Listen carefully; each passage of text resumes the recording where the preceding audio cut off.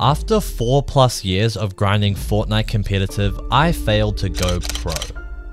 Okay, well, kind of. In OCE, I made 3.15k earnings, was top 80 PR, signed many paying contracts with orgs, and so on. But I was only ever a tier 3 player at best.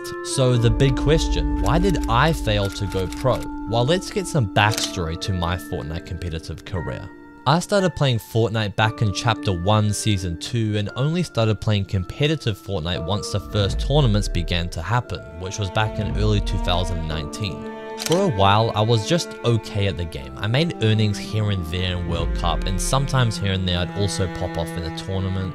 But nothing really happened much until it came to Frosty Frenzy where I absolutely popped off.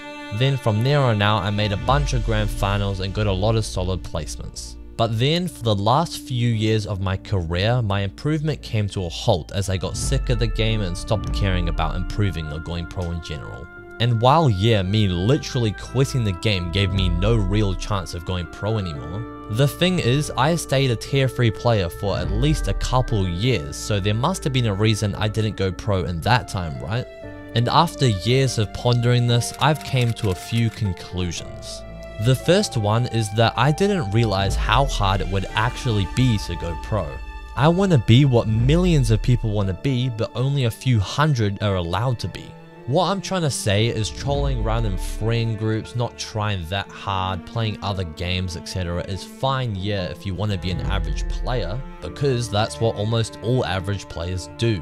But what I needed to do to go pro is do what most people wouldn't do and consistently grinding the game every day doing what's best for my improvement, not just what I feel like doing. And I just needed to stay away from the distracting things like other games and distracting friend groups, etc. But there was something else way bigger that stopped me from going pro. And it was about me avoiding my weaknesses. As a lot of people can relate to, I hated solos for most of my career, as well as fighting against especially good players. So I just grinded scrims, VOD viewing, and when I did do fighting practice, it was either against worse players or in team game mode arena, etc. Notice a pattern here? I avoided doing anything that involved me having to heavily rely on my own fighting skill. And this really came back to bite me on the butt later on down the road as in many situations in team game mode tournaments where I actually needed to heavily rely on my own solo clutch ability and fighting skill, I wouldn't know what to do, would be mad nervous and so on. The only reason I was a tier 3 player was because my game sense and IGLing was so insane that it just balanced out my weaknesses. But the problem is to be like an actual top pro you must be at least great in every skill which I actually did realize in the last year of my competitive career, so I started fixing it. But then as I actually started to improve in that area, I started not to care about the game anymore and it was too late. This is why I advise to anyone to start out their Fortnite competitive career by becoming insanely good at solos. This is because they literally just force you to become good at every single fundamental of Fortnite competitive before you move on to the team game mode stuff. I didn't do this and just instantly started out with the team game mode tourneys, leading me to having no confidence, no solo clutch ability, and no fighting skill.